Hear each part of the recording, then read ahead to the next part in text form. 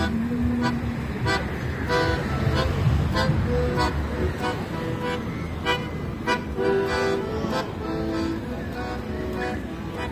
chwilę przed potopem i pośród gwiazd W niewierze horoskopu, co mamią nas W otwartym nagle sercu, w cieniu codzienności Wśród wielu ludzkich znaków, w słońcu i we Szukam Cię, cierpliwie dzień po dniu Staram się podążać Twoim śladem. Szukam Cię i pewna jestem już, że Ciebie, drogi Jezus, odnalazłam. Szukam Cię, szukam Cię, cierpliwie dzień po dniu. Staram się podążać Twoim śladem. Szukam Cię i pewna jestem już, że Ciebie, drogi Jezus, odnalazłam. Wśród siedmiu dni tygodnia, jednakich tak, w tańczących w deszczu kroplach, w zawodu łzach, po lustrach obu stronach, w nowych wciąż marzeniach, w mych perłach i w koronach, w tym kim jestem dziś. Szukam Cię, cierpliwie dzień po dniu, staram się podążać Twoim śladem. Szukam Cię i pewna jestem już, że Ciebie, drogi Jezus, odnalazłam. Szukam Cię, szukam Cię, cierpliwie dzień po dniu. Staram się podążać Twoim śladem. Szukam Cię i pewna jestem już, że Ciebie, drogi Jezus, odnalazłam. Na chwilę przed potopem i pośród gwiazd. Nie wierzę horoskopom i co mamią nas. W otwartym nagle sercu, w cieniu codzienności. Wśród wielu ludzkich znaków, w słońcu i we mgle. Szukam Cię, cierpliwie dzień po dniu Staram się podążać Twoim śladem. Szukam Cię i pewna jestem już Że Ciebie, drogi Jezus, odnalazłam. Szukam Cię, szukam Cię.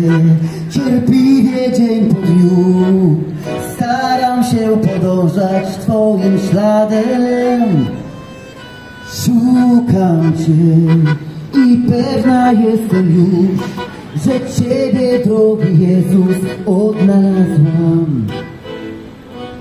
Wśród siedmiu dni tygodnia, jednakich tak, w tańczących w deszczu kroplach, w zawodu łzach, po lustrach obu stronach, w nowych wciąż marzeniach, mych berłach i w koronach, w tym kim jestem dziś. Szukam Cię cierpliwie dzień po dniu, staram się podążać Twoim śladem.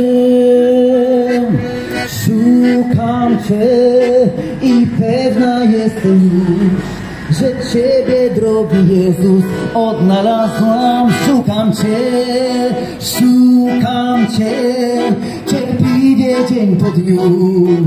Staram się podążać Twoim śladem. Szukam Cię i pewna jestem już, że Ciebie, drogi Jezus, odnalazłam. Szukam Cię, szukam Cię, cierpliwie dzień po dniu. Staram się podążać Twoim śladem. Szukam Cię i pewna jestem już, że Ciebie, drogi Jezus, odnalazłam. Przyjaciele, dzień dobry. Mam na imię Agata Cerońska i chciałabym dzisiaj Wam krótko powiedzieć o bardzo ważnej historii, która miała miejsce w moim życiu, o bardzo ważnym wydarzeniu, a mianowicie o tym, jak spotkałam Jezusa Chrystusa. Zapewne, kiedy obudziłeś się dzisiaj rano, w ogóle nie myślałeś o tym, że siedząc dzisiaj sobie w ogródkach na Nowym Świecie, usłyszysz taką informację, jak można do obiadu spotkać Jezusa. Może to brzmi śmiesznie, ale posłuchaj mojej historii. Kiedy miałem 16 lat, związałam moje życie z osobą, która była przestępcą. Był, ten człowiek był w zorganizowanej grupie przestępczej. Absolutnie o tym wiedziałam. Kiedy miałam już 16 lat, wiedziałam o tym, że on zamordował człowieka. Natomiast jako 16-latka czułam się bardzo niebezpiecznie w moim życiu, wiesz? Pochodzę z rodziny, w której dominował alkohol. Mój tato nie był tatem, który dał mi jakieś poczucie bezpieczeństwa. Stąd taka moja decyzja. Bardzo się bałam i zdecydowałam w taki, a nie inny sposób, że właśnie wiążę moje życie z człowiekiem, który jest straszny. Więc jak jest straszny, wszyscy się boją jego, więc ja przy nim będę czuła się bezpiecznie. I wiecie, tak to nasze życie się toczyło. Ja z miesiąca na miesiąc i z roku na rok znajdowałam się w coraz gorszych opałach. Na tyle, na ile mogłam logicznie myśleć, wiedziałam, że popełniłam błąd mojego życia. Że związałam się z tym człowiekiem, ponieważ przyglądałam się na straszne rzeczy. Wiecie, teraz Patryk Wega robi takie różne filmy o różnych przestępcach. I właśnie o, takich, o takim życiu przestępczym ja Ci właśnie mówię. Właśnie z takimi rzeczami miałam do czynienia. Byłam świadkiem porywania ludzi, montowania bomb u mnie w domu, na mojej własnej kuchni, na, na moim własnym stole kuchennym. Oglądałam jak młodociani uzależniani są od narkotyków, a potem stają się handlarzami. Widziałam mnóstwo złych rzeczy. W międzyczasie zachodzę w ciążę, rodzę syna Wiktora. I wiecie, moje życie naprawdę jest w takim dole zagłady, jakkolwiek to rozumieć dzisiaj. Ale jest mi bardzo źle. Pochodzę z małego miasteczka spod Warszawy, z Nasielska. Nie bardzo miałam do kogo się zwrócić po pomoc, ponieważ miasto jest małe, policja jest skorumpowana, rodzice moi mnie nie rozumieją, rodzina w większości przypadków nie wie tak naprawdę, jaki dramat ja przeżywam i jest mi źle. Jako taka młoda mama, nie do końca świadoma tego, co się w ogóle dzieje,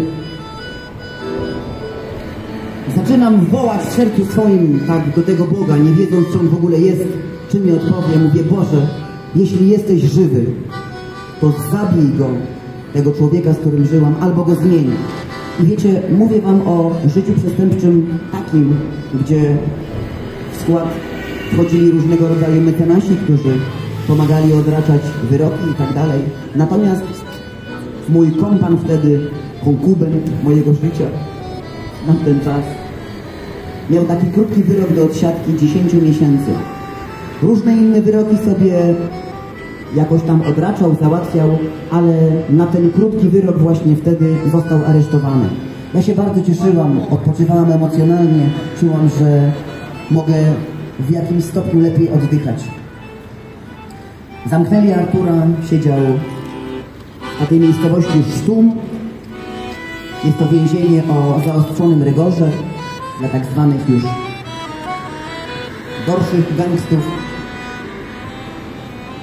I po trzech miesiącach pisze do mnie list. Agata, poznałem Jezusa. Jezus przebaczył mi moje grzechy. I ja również Ciebie proszę o przebaczenie. I wiecie, było to dla mnie na tyle abstrakcyjne, ponieważ ja słyszałam różne zmiany, różne informacje o zmianach. Więc absolutnie nie zrobiło to na mnie żadnego znaczenia, żadnego wrażenia. Pomyślałam sobie, popaliłeś wszystkie mosty. Ostatni most, jaki został, to kwestia Boga. I tak sobie wewnątrz siebie pomyślałam, z uwagi na to, że jest życiowym cwaniakiem, plecy ma wielkie poprzez znajomości z różnymi ludźmi, więc mówię, będzie kościół po wyjściu zakładał i zapewne wyłudzał pieniądze. Przeszłam sobie do codziennego życia, zajmowałam się synem, pracowałam sobie, ale te 10 miesięcy bardzo szybko minęło i Artur wrócił do domu i wiecie, wróciła do domu nowa osoba. Ja przez nasze życie kilkakrotnie oglądałam jego wyjścia z więzienia i zawsze jego wyjście było takie samo. Po prostu w więzieniu były wielkie obiecywanki, jak on się teraz zmieni, a po wyjściu po prostu żył tak, żył zgodnie ze swoją naturą, czyli żył zgodnie z tym, kim był w środku, czyli z przestępcą. Ale tym razem było inaczej. Artur nic nie umiał, nie umiał pracować. Jedyne co umiał robić to zarządzać innymi ludźmi, to być bandytą, to być przestępcą, to mordować, wyłudzać, uzależniać ludzi od narkotyków, potem się nimi wysługiwać. A tutaj raptem wielka zmiana. Przede wszystkim mówi do mnie tak, posłuchaj, żyjemy w grzechu, musimy wziąć ślub, mamy czteroletniego syna, nie będę z tobą spał, bo to jest grzech. Ja mówię, hej, ty jesteś wariat. Wiecie, dla mnie to jakaś była abstrakcja, ponieważ dotychczas oglądałam patologiczne życie. Życie, gdzie nie było problemu przystawić mi pistolet do głowy i chcieć mi zastrzelić. A tutaj raptem widzę, że jest jakiś nowy człowiek. Czyta Biblię, prezentuje mi jakieś inne wartości i to było dla mnie bardzo dziwne. Ja nie wiedziałam, gdzie mam to schować, tą informację i to, co oglądają moje oczy. Gdzie ja mam to schować? Co ja mam z tym w ogóle zrobić? Co to jest za twór? Mówi mi, że narodził się na nowo, że Jezus przebaczył mojego grzechy. On nie prosi o przebaczenie. Mówi również do mnie, słuchaj, ty też musisz się na nowo narodzić, ponieważ inaczej skończysz piekle. Ja mówię, słuchaj, ja tego nie wytrzymam. W ogóle chyba głowa mi spuchnie. Najpierw w ogóle żyję z tobą jako z przestępcą, a teraz co? Ty w ogóle jakiś będziesz teraz, nie wiem, kapelan, jakiś kaznodzieja? Nie bardzo wiedziałam, co mam z tym w ogóle zrobić, ale życie świadczyło jego samo za siebie. Wiecie, człowiek prezentuje takie życie, w jakie wierzy. Człowiek prezentuje to, co kocha. I wiecie, koledzy z jego po fachu zaczęli przyjeżdżać do nas do domu i tak jak zawsze proponowali łatwe pieniądze, proponowali szybkie interesy, ale tym razem Artur odpowiadał zupełnie inaczej. On mówi, słuchaj, ja już tak nie żyję. W ogóle nie ma tego starego Artura, on umarł. W 2001 roku urodził się nowy Artur. O nowym sercu, z innymi wartościami. Moim Panem już nie jest diabeł, moim Panem jest Jezus. I On mi dał nowe wartości. I wiecie, ja na własne oczy oglądałam, jak odmawiał kolegom i mówił, nie chcę tak żyć. Nie chcę w taki sposób zarabiać pieniędzy. Nie chcę krzywdzić ludzi. I ja na to wszystko się przyglądam. I on mi też cały czas, Artur, głosi Ewangelię. Mówi, Agata, Bóg tak pokochał świat, że Syna swojego jednorodzonego dał, aby każdy, kto w Niego wierzy, nie zginął, ale miał życie wieczne. Natomiast wiecie, z perspektywy tego, jaki był Artur, a jaka byłam ja, to ja miałam własną sprawiedliwość. Mi się wydawało, że, że ja jestem dobra, bo ja byłam dobrym człowiekiem, takim dobrym jak zapewne wy tutaj. Takim zwykłym zjadaczem chleba. Wydawało mi się, że na moim koncie jest masa dobrych uczynków. Tak naprawdę mówię, Jezus mnie na pewno zrozumie, Bóg mnie na pewno zrozumie. Przypisywałam sobie bardzo dużo takich właśnie pozytywnych czynności, za które uważałam, że pójdę do nieba. I Artur zaczął mi czytać Biblię. On mówi, popatrz, a tutaj jest napisane, że zbawienie jest z łaski. Nie z uczynków, aby się nikt nie chlubił przed Bogiem. Ty po prostu masz takie życzenie. Masz takie pobożne życzenie, żeby Cię Bóg osądził wedle Twoich uczynków. Ale Twoje uczynki wedle Biblii są jak splugawiona szmyka. Nikt z powodu uczynków swoich nie wejdzie do nieba. Zbawienie jest za darmo, z łaski. Nie do końca też to rozumiałam i nie do końca też chciałam się z tym zgodzić. Ale wiecie, z uwagi na to, że moje życie było przy Arturze, czyli przy tej całej zorganizowanej grupie przestępczej, to też padłam ofiarą tego. Założyłam kiedyś firmę. I na moją firmę były brane ekskluzywne samochody i potem były sprzedawane, jak również były brane kredyty w bardzo dużych wysokościach i również nie były spłacane. Więc kiedy to wszystko tak naprawdę się rypło, to w moim życiu zaczęło być naprawdę nieprzyjemnie. I kiedyś do mojego domu przyjechała policja. Ja zostałam wtedy aresztowana za współudział w zorganizowaniu, w zorganizowaniu grupy przestępczej. Wiecie, ja naprawdę nie miałam nic wspólnego z tą grupą przestępczą, ale z uwagi na to, że dałam się wykorzystać, ponieważ byłam łatwa do wykorzystania, ponieważ z uwagi na to, że się bałam, to nie posiadałam własnego zdania i dałam sobą manipulować. I kiedy jechałam z Kuta w Kajdanach do prokuratury tu w Warszawie, na ulicy Kruczej,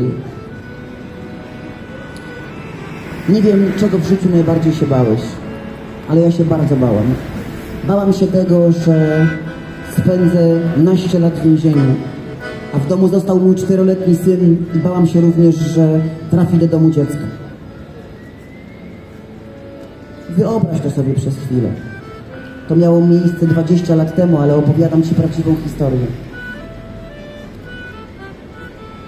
Ale kiedy jadę z kuta w kajdanach w tym radiowozie policyjnym, to wołam do tego Boga, o jakim opowiadał mi Artur.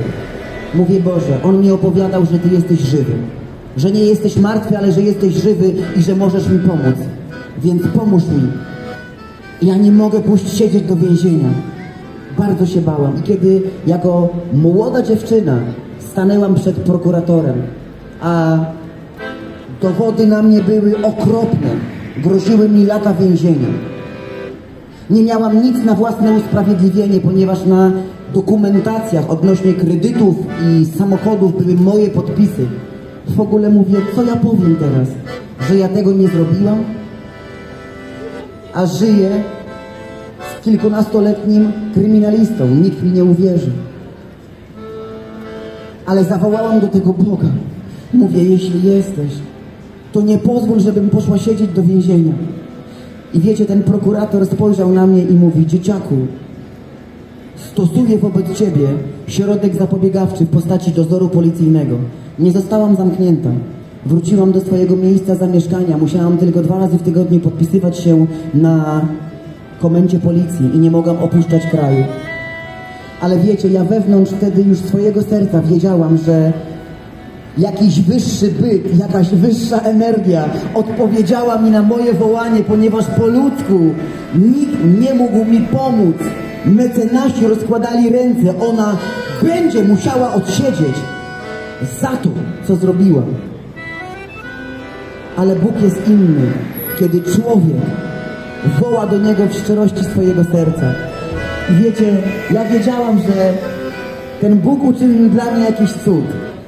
Wróciłam do domu i w ogóle tak jak umiałam, tak w prosty sposób zaczęłam do niego mówić. Mówię, Boże, Artur Cię za coś przepraszał, w ogóle jakoś, nie wiem, pokutował. Przepraszał Cię za jakieś grzechy w ogóle. Co to jest grzech? Ja w ogóle nie czuję się grzesznikiem. Ja czuję się dobra, wręcz czuję się ofiarą. Wręcz w ogóle mówię, kurczę, chyba nawet mam coś wspólnego z Jezusem. Jego zabili, a mnie chciano zabić, chciano mnie porwać, wywieźć do lasu, nie wiem, poobcinać palce, paznokcie. Rozumiecie? Ja wiem, no ja żywcem chyba do nieba.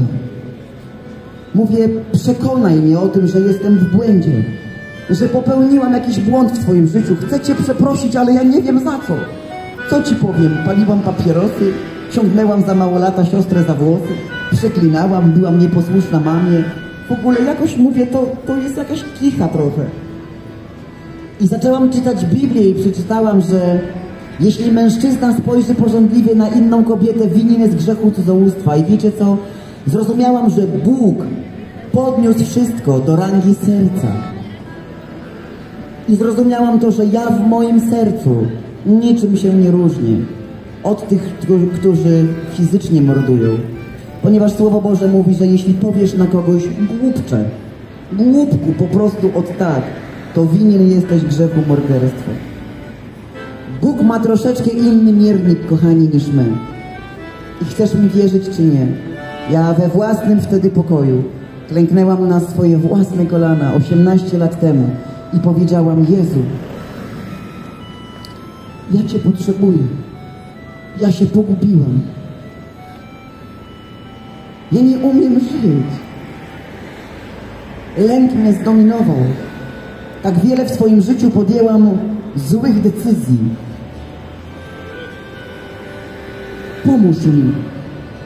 przyjdź do mojego życia. Uznaję siebie jako osobę błądzącą, czyli osobę grzeszną. Zbłądziłam. Potrzebuję Twojego zbawienia. Potrzebuję, abyś mnie obmył swoją świętą krwią. Jakkolwiek to dzisiaj brzmi w Twoich uszach, On przyszedł do mojego życia. On przyszedł do mojego serca.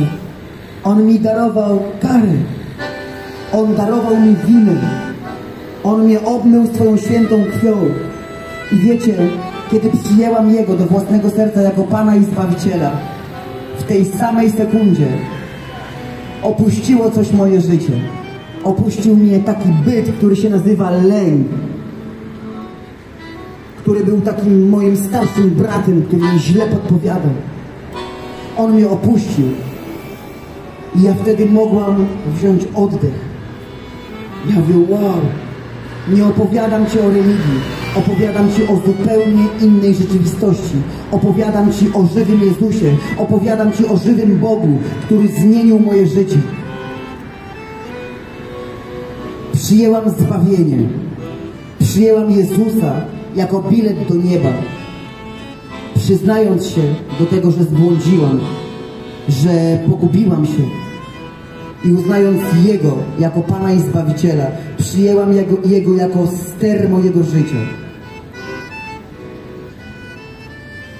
Chcę Ci powiedzieć, że ten sam człowiek, który dzięki któremu tak naprawdę mogłam spędzić lata w więzieniu, przez którego mogłam naprawdę nie żyć, dzisiaj jest moim mężem. I może pomyślisz sobie, a jak to jest w ogóle możliwe? No możliwe jest to o tyle, że ja tak naprawdę zawsze go kochałem. Trochę taka historia jak z bajki. I kiedy narodziłam się na nowo, powiedziałam, Boże, chcę żyć z Arturem. Ale mam tak dużo ran w swoim sercu. Mam tak dużo dziur, że nie potrafię. I Bóg do mnie powiedział, potrafisz, ponieważ masz moją moc. Masz mojego ducha. Ten sam duch, który wzbudził z martwych mnie, mieszka w tobie. Masz moc. A ja ci pokażę, jak zaczniesz być, być tego świadoma. I mówię, to jak mam przebaczyć Arturowi? I Bóg do mnie mówi, podejmij decyzję, a ja uleczę twoje serce. Kochani, opowiadam wam historię, która miała miejsce 20 lat temu. Jesteśmy szczęśliwym małżeństwem. Z dużym bagażem, tak, ale szczęśliwym. Tamci ludzie nie żyją. Oni zostali pogrzebani wraz z Jezusem Chrystusem i wraz z Jezusem Chrystusem zostali obudzeni do nowego życia.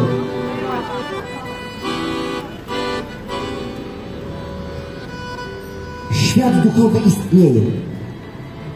My dzisiaj naszymi fizycznymi oczami oglądamy to, co oglądamy, ale ja widzę więcej. Jeśli nie poznałeś Jezusa, to widzisz tylko mnie. Jeśli nie poznałeś Jezusa, to tylko widzisz ten nowy świat, te taksówki, tych ludzi, którzy jedzą, tych ludzi, którzy przychodzą, a ja widzę więcej. To, co się nazywa dzisiaj, kiedyś minie. Jezus Chrystus, o którym zapewne słyszysz dzisiaj nie po raz pierwszy, ponieważ każdy z nas słyszał o Jezusie. On wróci na tą ziemię po swój Kościół. Pytanie, czy jesteś Jego Kościołem. I nie mówię o tym, czy chodzisz do Kościoła, tylko czy, czy jesteś Kościołem. Kościół, kochani, to nie jest budynek ręką ludzką zbudowany. Kościół to są ludzie, którzy osobiście oddali Jezusowi swoje życie, przyjęli Jego do swojego życia jako Pana i Zbawiciela. Uznali, że Jezus darował im karę. Przyjęli darmowy bilet do nieba. Ci ludzie są Kościołem. I Jezus wróci po taki Kościół. Ale ci, którzy nie są Kościołem, będą sądzeni.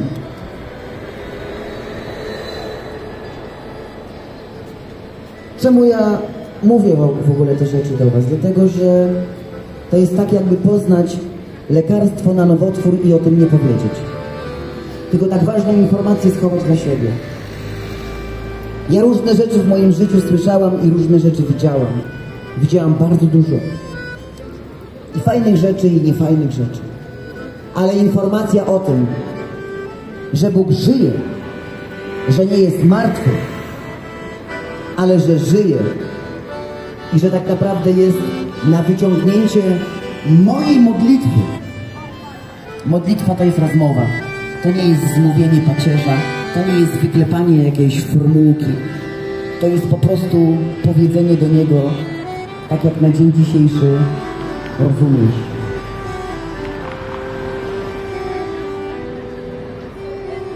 Jezus Chrystus żyje.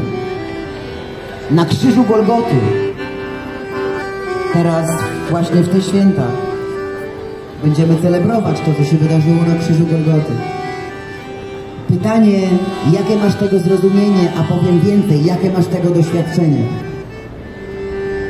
Co dla Ciebie oznacza krzyż Golgoty? Dla mnie to nie jest miejsce płaczu, ponieważ Jezus nie umarł tylko, ale On zmartwychwstał. Gdyby nie zmartwychwstał, to nie mamy powodu do szczęścia, ponieważ oznaczałoby to, że grzechy nasze nie są przebaczone. On się stał doskonałą ofiarą za mój i Twój grzech. On żyje. Czy wierzysz dzisiaj w to? Czy wierzysz w moje słowa? Kiedyś ktoś mi powiedział Ewangelię. I uwierzyłam w słowa Ewangelii. Zbadałam sprawę Jezusa Chrystusa osobiście.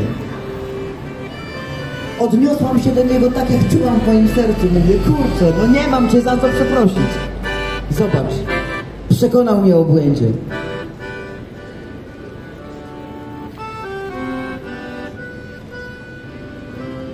Mam duży dystans do siebie i w ogóle do życia. Dlaczego? Dlatego, że nie to ma największą wartość. Największą wartość ma życie wieczne. Czy zastanawiałeś się kiedyś w ogóle nad tym?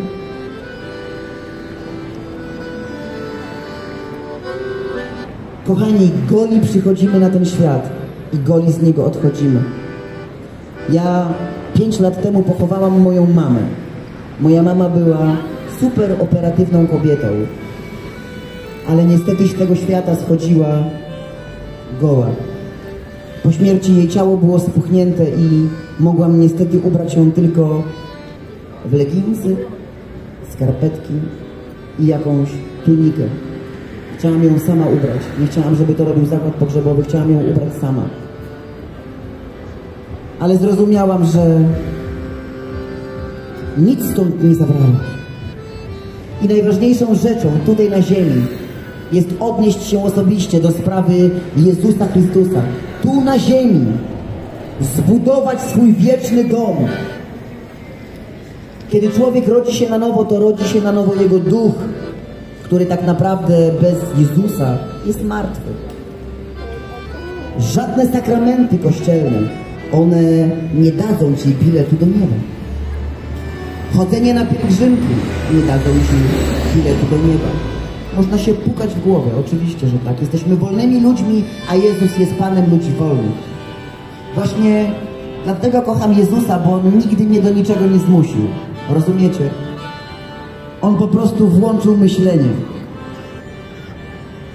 Pomyślałam, zrozumiałam i zdecydowałam, że jednak wybieram Jego jako osobistego Pana i Zbawiciela. Że nie przegapię takiej informacji w moim życiu. Że nie mogę nie zdecydować, aby skorzystać z Jego krwi, która spowoduje, że moje grzechy zostaną mi przebaczone. Nieważne, co uczyniłeś. Wiecie, mój mąż w starym życiu zamordował człowieka. I kiedyś u drzyzgi w programie ktoś go zapytał, nie czuje pan wyrzutów sumienia? Artur mówi, no ale nie czuję. Jezus Chrystus umarł za mój grzech. On to wziął na siebie. Wiecie, Bóg jest zupełnie innym tworem niż człowiek. Człowiek ma tak zwane życzeniowe myślenie, że Bóg z pewnością jest taki jak ja. On na pewno jest taki jak ja. Jezus Chrystus pokazał, jaki jest Bóg. Jezus to Bóg. Jezus to Mesjasz. To jedyny Zbawiciel. W żadnym innym imieniu nie ma zbawienia. Tylko i wyłącznie w imieniu Jezus. W imieniu Jezus jest zbawienie. W imieniu Jezus jest moc. W imieniu Jezus jest przebaczenie grzechów. W imieniu Jezus jest uwolnienie. W imieniu Jezus jest uzdrowienie. W imieniu Jezus jest nowe życie. W imieniu Jezus jest wszystko. Imię Jezus jest rozwiązaniem na wszystko. Normalnie powinnam nie żyć. Lub spędzić lata w więzieniu. Ale mam zupełnie inaczej. Może powiesz, to jest niesprawiedliwe. Pamiętam, że jak narodził się na nowo mój mąż, w tym samym czasie w moim bloku zmarł mały chłopiec. I kiedy przyjechała policja, to powiedzieli, ten sukin syn powinien mierzyć naprzeciwko. Ale ten sukin syn właśnie został usprawiedliwiony świętą krwią Jezusa. Właśnie to jest sprawiedliwość Boża. A to małe dziecko, jeśli nie pojednało się z Bogiem, a było już świadome, niestety poszło do piekła. Taka smutna rzeczywistość o Bogu. Dzisiaj możesz być zbawionym człowiekiem. Dzisiaj możesz zawołać do Jezusa i powiedzieć, kurczę, Jezu, chcę Cię poznać. Chcę Cię poznać. Chcę się czegoś o Tobie dowiedzieć.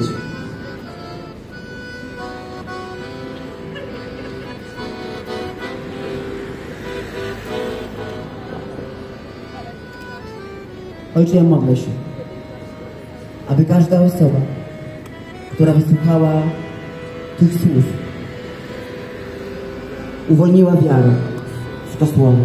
Ja modlę się, aby ludzie zaczęli Ciebie szukać. Ja dziękuję Tobie za Twoje słowo, które mówi, że Ty chcesz, aby wszyscy doszli do poznania prawdy i dostąpili zbawienia.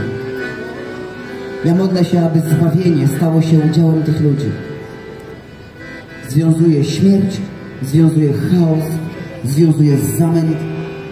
I dziękuję Ci za nowe narodzenie. Dziękuję Ci za rozpoczęcie nowego życia. Dziękuję Ci za świadomość ludzi. Dziękuję Ci, że świadomość ludzi będzie się budziła. Dziękuję Ci, Duchu Święty, że będziesz dzisiejszej nocy objawiał się im. Ojcze, ja modlę się, abyś nawiedzał ludzi. Modlę się, abyś nawiedzał ludzi. Modlę się, aby Cię dzisiejszej nocy nawiedził Bóg, aby przyszedł do Ciebie i objawił Ci się i pokazał Ci, jestem, jestem. To, czego tak naprawdę szukasz, to szukasz mnie. Nie znajdziesz mnie w pracy, nie znajdziesz ukojenia w pracy, nie znajdziesz ukojenia w biznesie, nie znajdziesz ukojenia w narkotykach, nie znajdziesz ukojenia w ramionach kobiety, nie znajdziesz ukojenia w ramionach innego mężczyzny. W każdym człowieku jest taka pustka, którą może wypełnić tylko Bóg. I to nie jest religia i nie opowiadam Ci o religii. Opowiadam Ci o żywym Jezusie. O żywym Jezusie. Zostałam również uzdrowiona z raka piersi. Miałam raka piersi.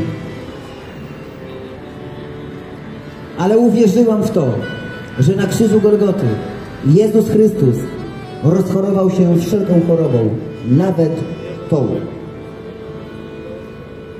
Jestem zdrowa.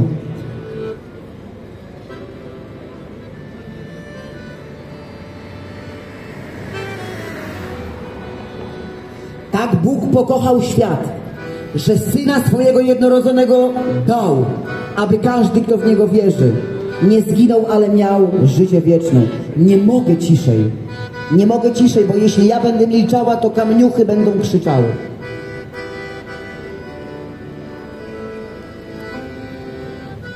Właśnie taka informacja kiedyś będzie informacją przerażającą, ponieważ Bóg będzie sądził i nie będziesz miał od dnia dzisiejszego usprawiedliwienia, że nie usłyszałeś słów Ewangelii, ponieważ przed Tobą zostanie wyświetlony ten film z dzisiejszego dnia, że właśnie ja stałam na Nowym Świecie i opowiadałam Ci o Jezusie.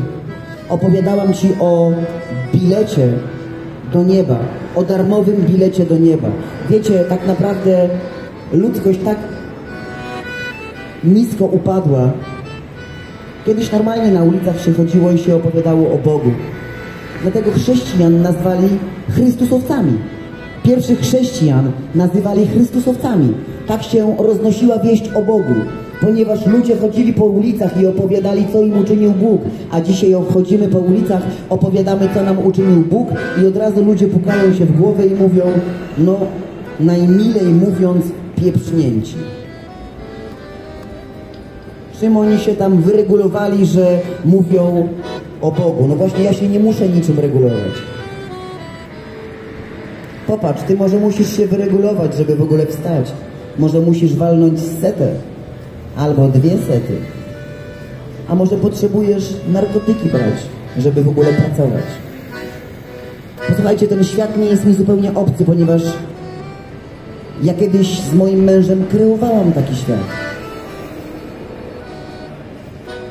Ale jestem od tego wolna.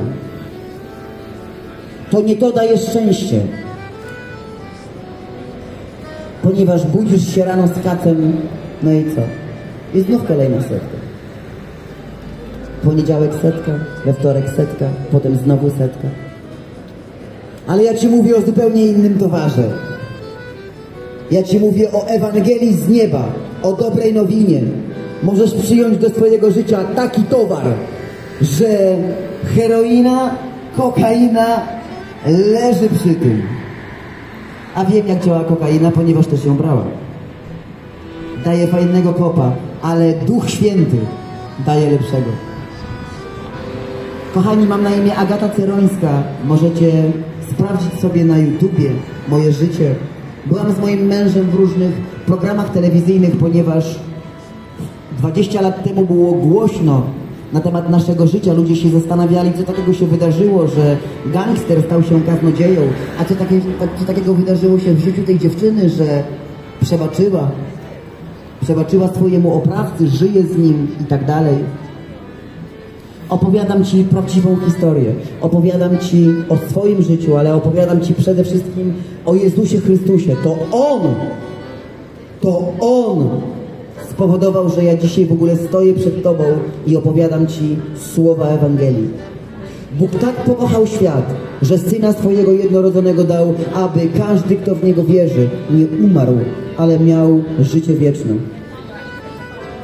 Kiedy umrzesz bez Boga w sercu, kiedy umrzesz, nie pojednawszy się z Jezusem Chrystusem, już nic nie pomoże Ci modlitwa księdza. Już nie pomogą Ci te kadzidła. Mogą tam się nakadzić, ale to i tak nic nie zmieni. Tutaj na ziemi, kochani, decydujemy o naszej wieczności. Tutaj na ziemi decydujemy o tym, gdzie spędzimy wieczność. Czy w niebie, czy w piekle. Ludzie myślą, że Bóg to jest ten baranek, taki właśnie teraz jest Wielkanoc, a może jajeczko, a może jakiś taki króliczek. No w najlepszym przypadku no baranek, nie? Taki baranek w ogóle z cukru. On jest taki fajny, on na pewno spojrzy na mnie łaskawym wzrokiem. Nie. Nie. Bóg jest zgodny ze swoim słowem. Bóg jest cudowny. Z uwagi na to, że ludzkość potrzebowała zbawienia, z uwagi na to, że ludzkość potrzebowała doskonałej ofiary, krwi niewinnego, dlatego oddał swojego Syna. Oddał to, co było trzeba. Jezus jest izolacją dla Ciebie i dla mnie. Ja skorzystałam. Przyjęłam Go jako osobistego Pana i Zbawiciela. I przede wszystkim uzyskałam zbawienie. Uzyskałam bilet do nieba. Wszystkie inne zmiany w moim życiu to jest skutek uboczny chodzenia z Bogiem.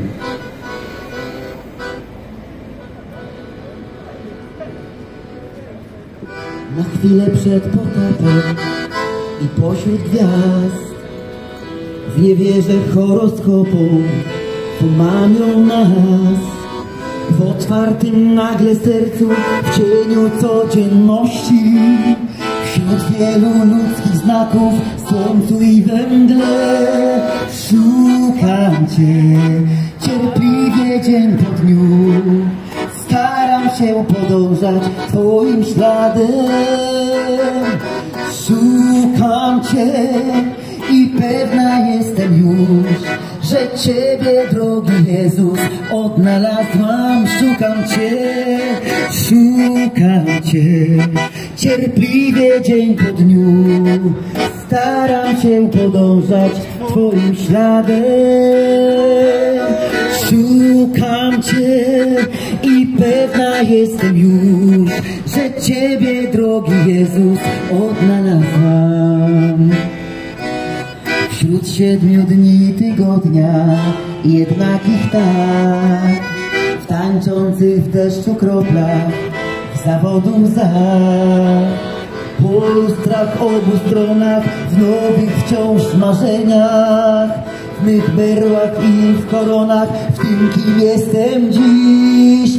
Szukam Cię cierpliwie dzień po dniu, staram się podążać Twoim śladem.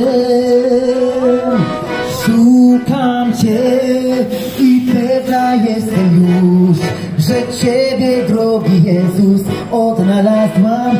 Szukam Cię, szukam Cię, cierpliwie dzień po dniu. Staram się podążać Twoim śladem. Szukam Cię i pewna jestem już, że Ciebie, drogi Jezus, odnalazłam. Kochani, mam nadzieję, że było Wam miło. Mi było bardzo miło. Cieszę się, że wysłuchaliście historii mojej, ale przede wszystkim historii o Jezusie. Życzę Wam miłych rozważań, miłego jedzenia, miłego nawiedzenia.